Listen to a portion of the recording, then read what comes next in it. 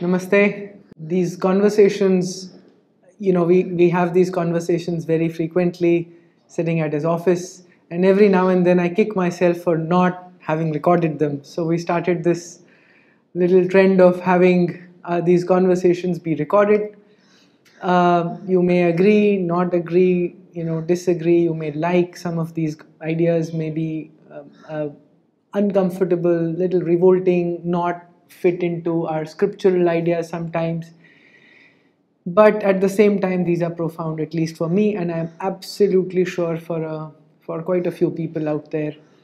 Um, this is the way personally for me this is the way i learn by interaction by talking asking questions arguing this has been our tradition and so um, they are elevating i learn and argue and hopefully anand also gathers you know something valuable in this process and i'm hopeful and almost sure that a lot of you would found these useful one of the criticism uh, we got, or at least I got in the conversation, in the first conversation, was around the seemingly benevolent ideas of Islam, and so we'll explore that. Looking forward to your comments. Please leave your comments in the in the uh, comment section in the YouTube video once this goes live below. Let us give your feedback, perhaps even your questions that I may take forward in these conversations with Anand, and not only Anand, but with perhaps perhaps with other people um, that I hope to interact in a series of these videos,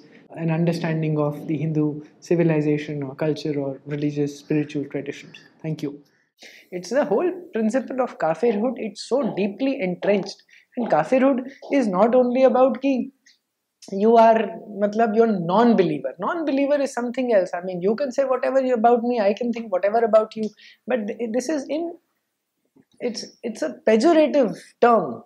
It's looked down upon. It's a hateful term. It is nothing but hate speech.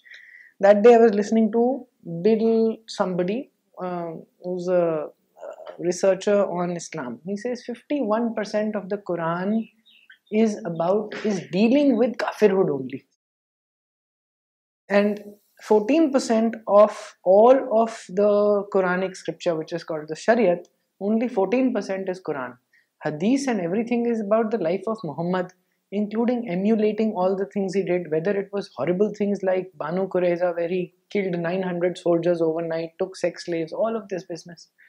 I mean, everything is wiped. ये तो ये नहीं हो सकता वो नहीं हो सकता everything is yeah I don't know this is all just I don't know how you one does not draw patterns if it's an aberration. But if there is a pattern to a human being or to an entire community's behavior then you i mean it's it's it's dishonest in my opinion to say that no i'm going to argue the other way. Now let me ask the question. Yeah. The purpose of looking at or wanting to find patterns in other people's behavior could be driven i mean there could be various reasons why one might want to do it no firstly let me clarify sorry to interrupt you i'm not trying to draw a pattern because of some reason of my I mean, I I don't care what this is. I, am not doing it out of academic interest. I'm doing it because it affects me. How does it affect me? Now that's the question yes, that I wanted. It affects me because it's their worldview of looking at me. One says out and out of good spirit. Hmm? One is Christianity says they want to convert me because otherwise I will end up in hell. I am a non-believer, and according to both whatever Old Testament, New Testament, whichever place I'm going to go to hell. So poor guys are trying to convert me so that they can get to heaven and I can get to heaven. All good spirit is how I understand it. And the other guys are basically saying that, I mean, seven कुछ ऐसा सुना है सात पीढ़ियां पीछे और आगे your sins are wiped out according to the Shariat, according to Allah's diktat if you convert kafir, a polytheist, and bring them to Islam, specifically, supposedly, women. And this is the root cause of all um, love jihad, where you are basically deceiving people, and whether it is in by you know mocking their whole idea of Devi Devatas Okay, I mean, why do you care whether I believe in a elephant god or a monkey god? How is this your problem? Why should you come and keep breaking my murtis? Because you, because Muhammad broke the Kaaba temple. It's just going on So, and and- on and- unstopped. An interesting project might actually, given what you are describing, interesting project might be actually to see when did the whole idea, what is the genesis of the whole idea that I, that there is a need to convert people to your view. Let me finish what I'm saying. And the reason why I say that is I can safely say that I have not read the Quran, so I actually don't know what is in the Quran. And very often I am aware that people peddle, just like they peddle about Hindus, they peddle stories of things that might be there in the Quran. and all. So, as we accept some of these narratives, is to one to verify whether there actually is stuff like that or is it differently or is it differently interpreted now each sentence every sentence is capable of being interpreted many very often is capable of being interpreted in many ways let me not having read the quran but generally having explored So why don't you read some of it? so generally having explored uh, i have no interest in it but but, but I get it, but then, but then, without um investigating and truly going even on, okay, why don't you just simply go to Quran.com and I'll read out here right now two two verses. This is Quran chapter three, verse one fifty one. We shall cast terror into the hearts of those who disbelieve, because they ascribe unto Allah partners, for which no warrant has been revealed. Their habitation is the fire, and hapless the abode of wrongdoers. Basically, what is being said is the following that believe only and only in Allah and do not equate other forms, other ideas of God, okay, which are ilaha, for example, with Allah. If you do that, you are doing shirk, okay, which is basically if I go and worship a yantra like you have here or a murti, I am equating that with uh, Allah, and this is shirk. There is then a whole behavior defined of how do you behave with people who engage in such activity. Let's read uh, chapter 2, verse 257. Allah is the protector of those who believe. So, Allah is not a protector of those who do not believe. He is only saying that I will protect if you believe in me. He brings them out of depths of darkness into light. As for those who disbelieve, their friends are the rebels. This is basically rebels means kafirs here. They bring them uh, out from the light into depths of darkness, which means that I, as a kafir, try to bring Momins, Muslims, from light, Islam, From darkness to light. no, Oh, as a kafir, I'm bringing them from light into darkness if I'm asking them to follow or in, inspiring them to follow my ways.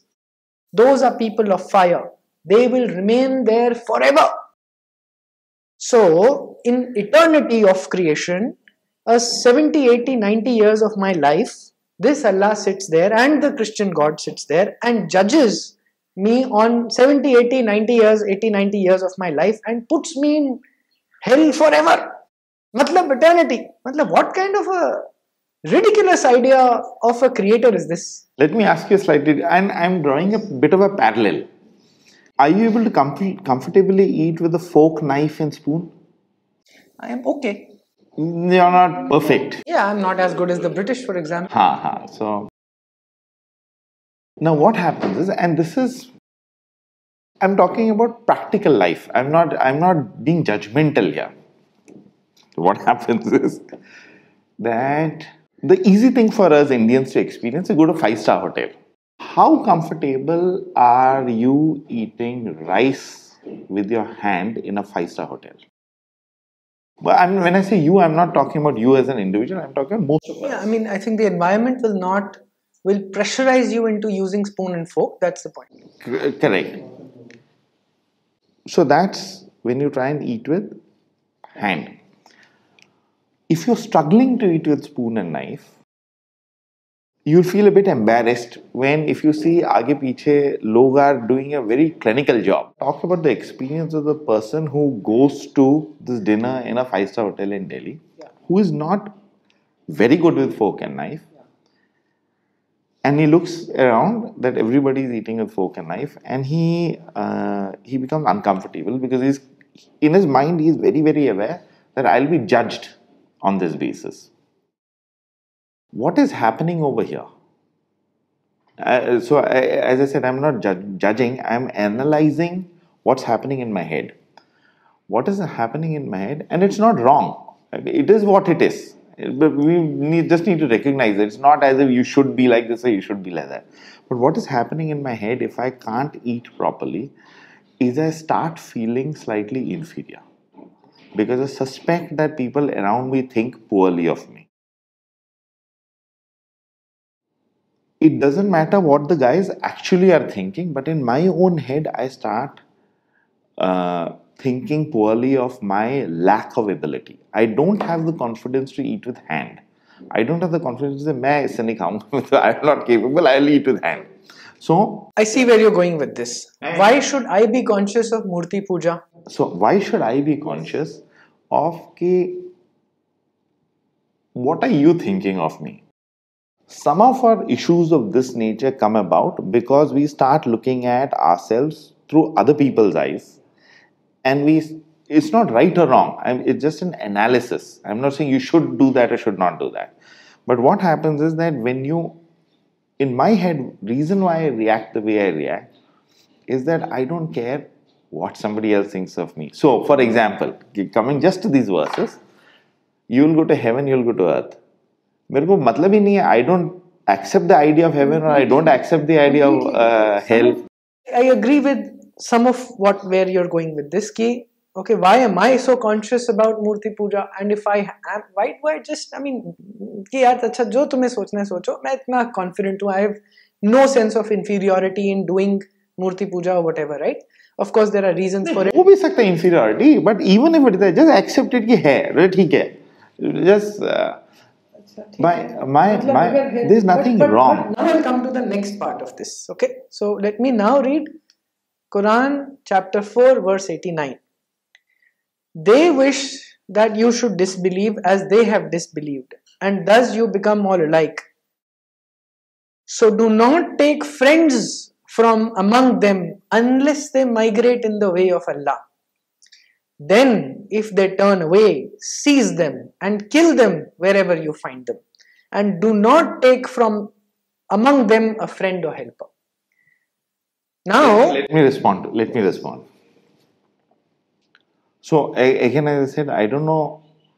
I've not read the Quran. I don't know how to interpret it even. Now, see, see you can't keep using this argument to deny whatever. No, no, no. Let me explain fully. Horrible things it no, keeps saying. Let me tell, explain fully. Aren't we acutely aware of people selectively picking some things and plastering them on us and saying, you guys are this? So people will selectively think, pick things from your scriptures and interpret it in a way and plaster it them. Wait, wait. We are aware we are critical of other people doing selective picking, not understanding the context, plastering it on my head, and telling me this is who you are. I do have a problem with that. You also have a problem with that. On all of us as a nation, we have a problem with that sort of selective thing. I'll make two points here. Is that I'm extremely wary of selective stuff that gets picked out because I know that that is exactly what happens to me and what can happen to me can happen to somebody else as well. But if you start intruding in a manner that is unacceptable to me, so uh, that is where it becomes relevant to me to figure out how I want to react with that particular situation. I don't find fault with what you are saying or what I'm just trying to explain that it's not wrong, but there is a bigger picture as well, which should not be ignored. So it's not as if this is wrong.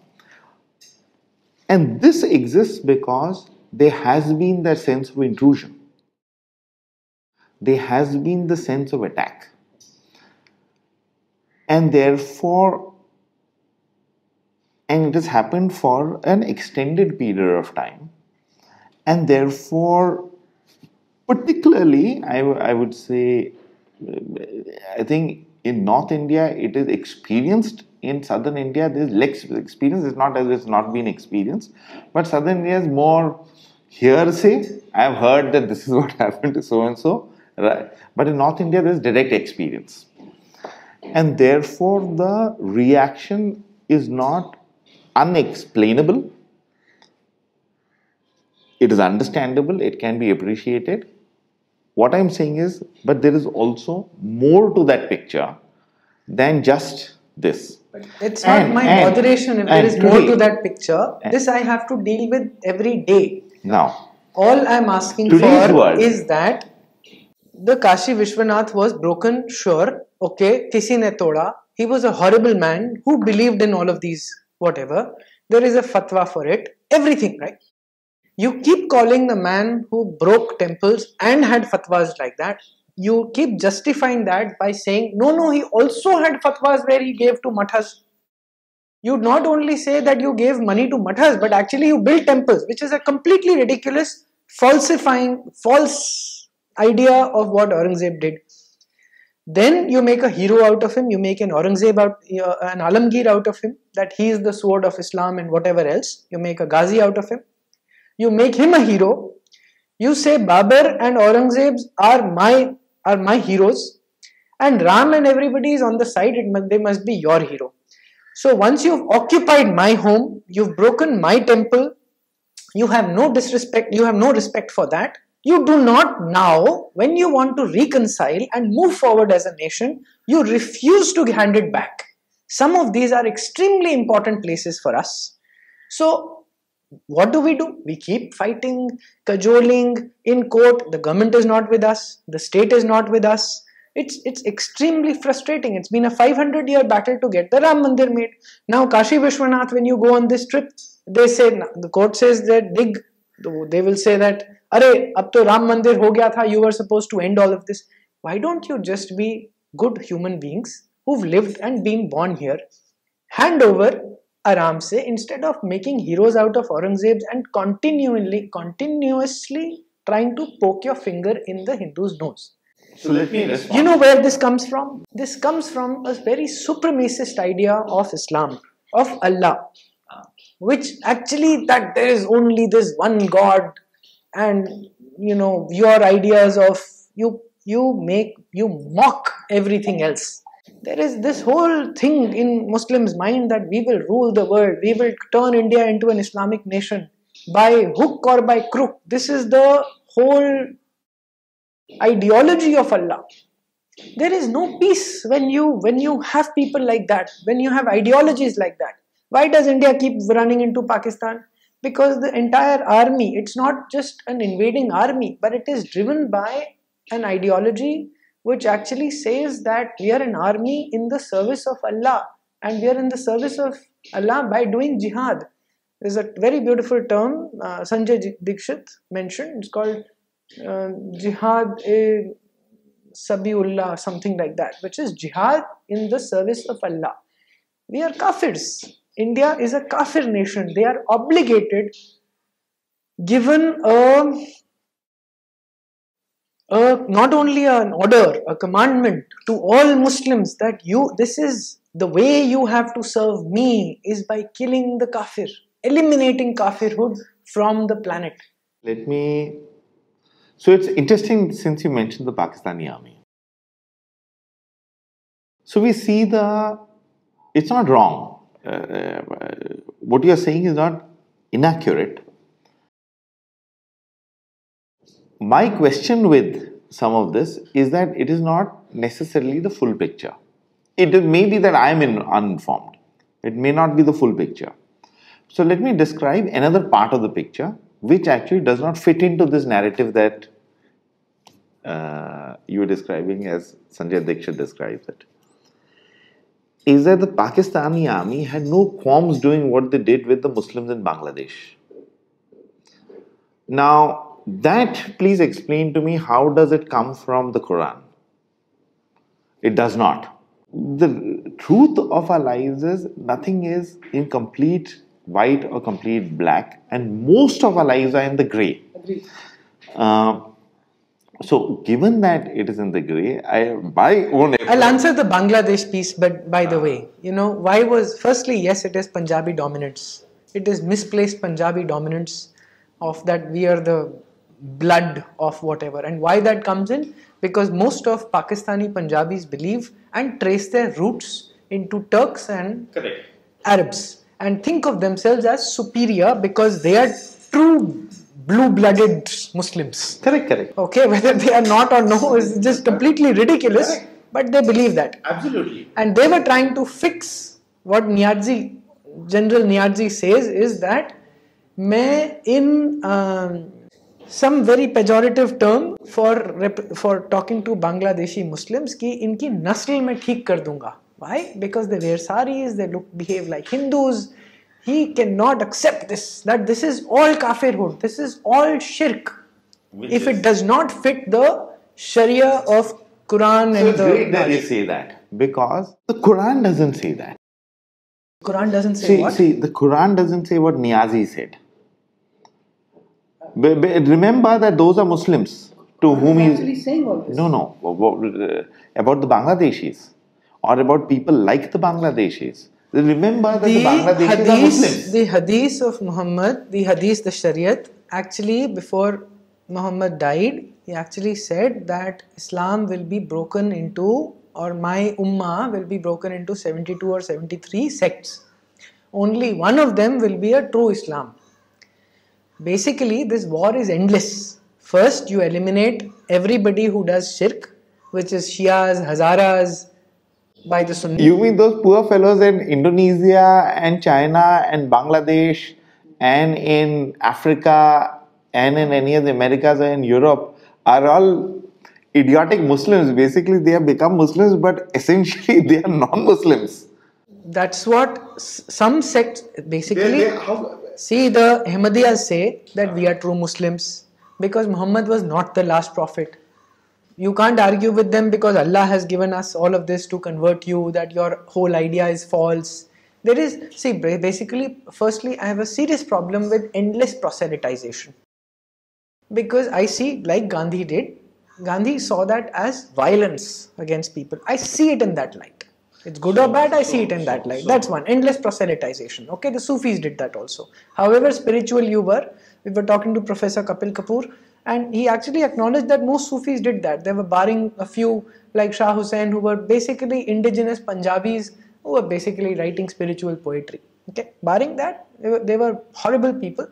They were actually asking people from outside to come and invade so that Islam can spread. I, I wonder if it is the, the idea is to spread spirituality, make people more spiritual, or the idea is to spread Islam's idea of spirituality. It seems to be the latter. So, very often, this distinction between spirituality and religion I don't fully comprehend. Okay. So I will mean, say basically that- people adhyatma. So- right? so- a very so- beautiful Indian term. So, so I would say, Seekers. for want of a better term, let's say that there are very few wars that are fought with, or very few things that happen at that kind of scale. When war is something gigantic scale, even at an individual level, there are very few times that we, or there are times at an individual level that we do things on account of one single motivation. But very often, when nations act, there are multiple motivations at play. Um, that is the reality. Often, what we do is when we, and which is which is the reason why I say what I say, is that when you look at newspaper reports on what happened yesterday, yesterday's history, you will find people who are doing genuine reporting of that matter. It's a matter of fact. I have observed it, and two other guys have observed it. When I read the report in one newspaper and another newspaper, I find there's a variance between them and my own version of what might have happened. Therefore, there is always a problem with when we have a black and white approach to history.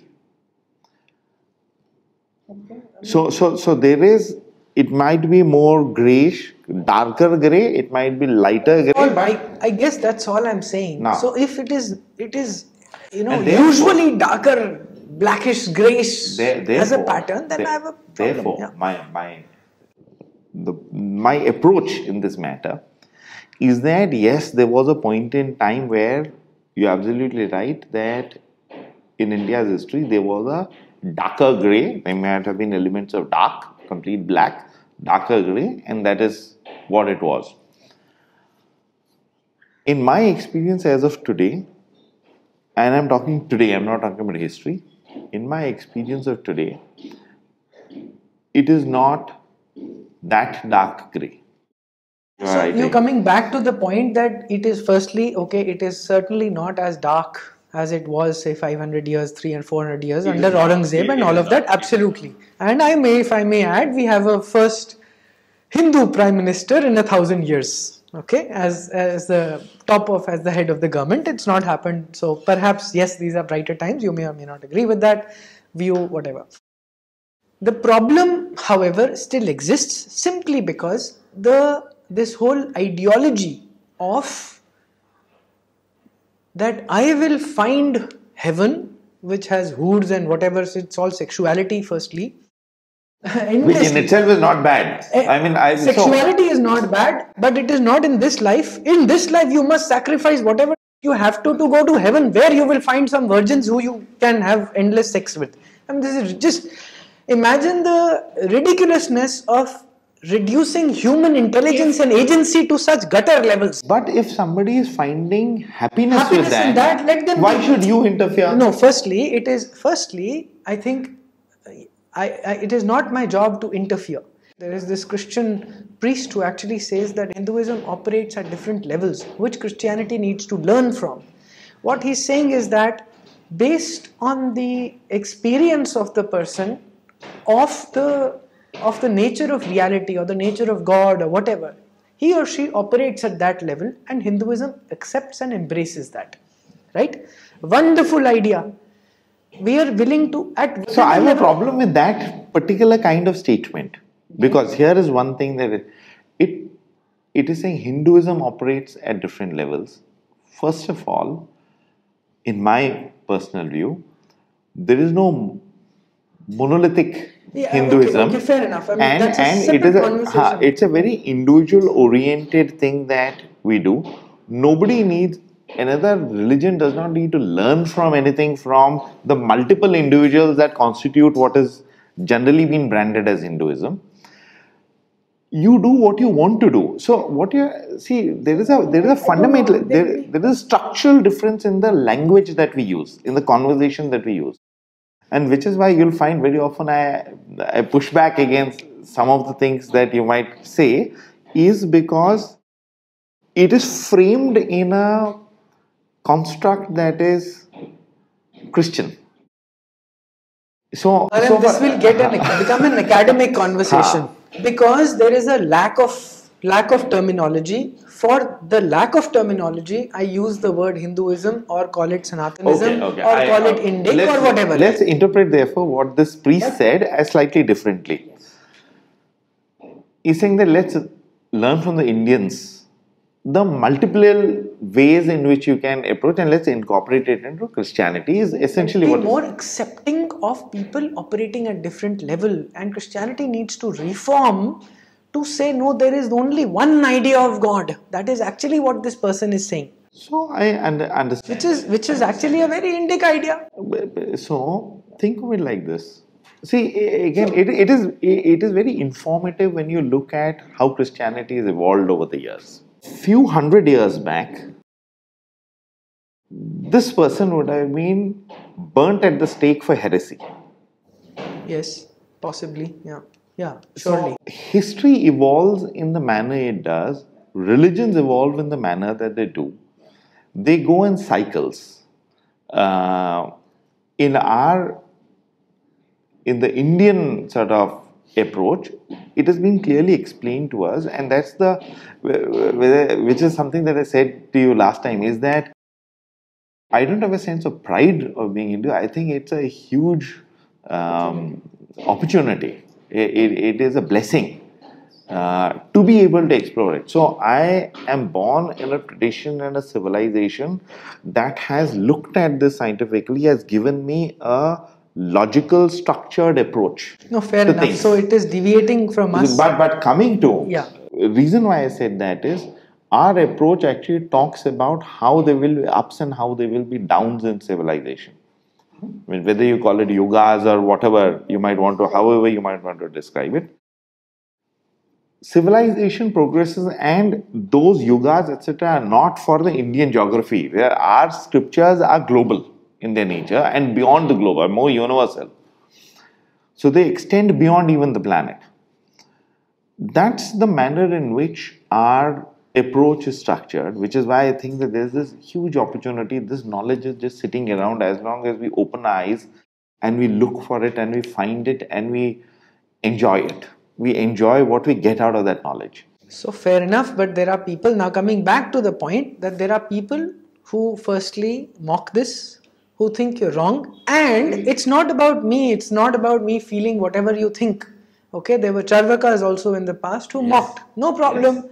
They did not go out with sanctification of their own idea of God and said it is my right. I am actually doing the right thing with sanctification from Allah or the Christian God to kill you. Now, the problem is on the extreme end that I will kill you, Yes. and on the least is that I will treat you like a second grade citizen. Yes. And if And- I were and- to and assume between- power, and- I will treat you like that. in the least and the at the least as a second grade citizen so that is the scope in which we and that's where we have the problem uh, in in horrible space. Both ends are extremely horrible space for anybody to live in. like you just said we now have a hindu prime minister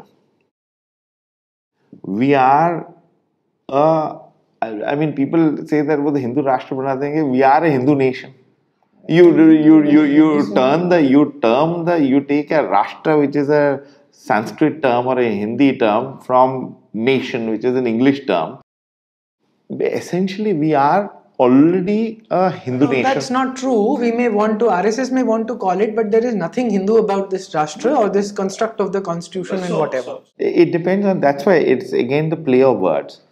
Is that therefore it is what is Hindu and what is not Hindu? My own view is that we already are a nation of which, which follows this tradition where the knowledge is so readily available. It's not readily, readily available anywhere else. Knowledge is available, it is not codified in how the state is going to be run. No.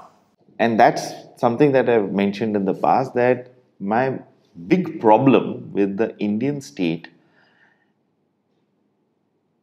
is for reasons, I mean, I can speculate and I can be critical, but for reasons I would say best known to the Indian state, is that they see no value in bringing to fore some of these great pleasures that Indian civilization has. Every pleasure comes with its darknesses, but the, I think the pleasures outweigh the darknesses. Absolutely. I mean, And, and, and, and, and we don't have, we as of now don't have a state. It does not matter if the head of the state thinks one way or the other. As a common citizen, what is relevant to me is what does the state deliver to me on my table. I see. I firstly completely agree with that. I have no objection. But that is the nature of the state. So, And the state actually in, incentivizes these abhorrent ideologies to actually attack me on a daily basis, attack my ways of life, even kill, treat me like second class citizens. Actually, Hindus are discriminated against in our own so I don't think that we're discriminated anymore. But that's exactly what the constitution does. It actually, the temples are under the government, but the mosques and churches will not be. What I am saying is, I'm more focused on the future than on the past, is what I'm saying. So, I'm not disagreeing with some of the wonderful things then. that you are saying. All I'm saying is there's more to it than just that. Um, I'm, my greater focus is on what in the future. And the future, the Indian state needs to provide opportunity which allow me to explore some of these traditions. Those who are not interested need not explore. Wonderful. It is a free country. It's a free world. Which needs to become Indic in its nature rather than secular and socialist and whatever, which are completely non Indic ideas in some ways. See, When you, when, I guess secular has two ways of interpreting the term. Yeah, secular, okay. So, firstly, it can remain plural, which is secular is rejection, huh, atheistic, and rejection of any ideas of religion or sp- spiritual traditions or whatever. And I think that is where, while the state, as a state, you've got to be equidistant or as close to every. So you want to promote atheism, fine, but allow the other thing to happen as well. Yeah, sure, but that's France. that's not us. So, But that is what, as I say, what we need to be in the future is that we need to be exploring more of what the Indian. We at the end of the day, I don't know. Where, I mean, in my view, I will have many lives. I don't know whether next life where I'll end up being.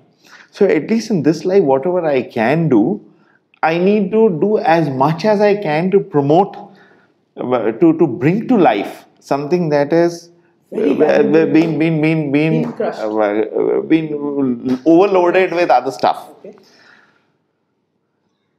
the opportunity is enormous. I mean, uh, we, to the extent that we spend our energy debating the past, we, that, that see, uh, we have finite amount of energy. Now, that energy, spend some time understanding the past. But my own approach would be to spend greater amount of that energy in taking off the uh, the covers that have been put that are so heavy actually to take off, but spend a greater amount of energy taking off those covers. I completely ag- I agree with your idea. Uh, yes, if you you might say that I'm in this complaining mode, but it feels unfair. You know, firstly the state does not, and then there are these two proselytizing violent ideologies of I- I don't Orthodox Christianity and Islamist ideologies or Islam, if you like, who's constantly invading my space of allowing me to live and let live and all- let live. They don't have it. say- All that I would say is Spend your it's not the it's not the full picture. There is more to that picture, but we don't need to debate whether there is more to that picture or not. As long as we are focused on, I mean, bringing bringing greater knowledge, uh, bringing. Some people say that is you're driving India into the dark ages or in the medieval past, saying and and I would say that the idea over here is not driving back or not. Do you want to improve your life for tomorrow? So you're basically saying don't spend your energies in debating or fighting these battles. Rather, spend your energy on bringing the cooler, which is the bringing the technology of Absolutely. India, of our occult, of our spiritual sciences, technology, of who, we were, what we who, knew. who what we, yes. I mean, why re? I mean, you feel free to reinvent the wheel if you would like to, but it's not necessary that. And if the knowledge is lost for how to make the wheel, we do need to reinvent the wheel. and somehow actually act on spend your energies in ta- changing the nation or the I- yeah whoever we are constitutionally perhaps to be more of who we were Yeah. of be more indic So,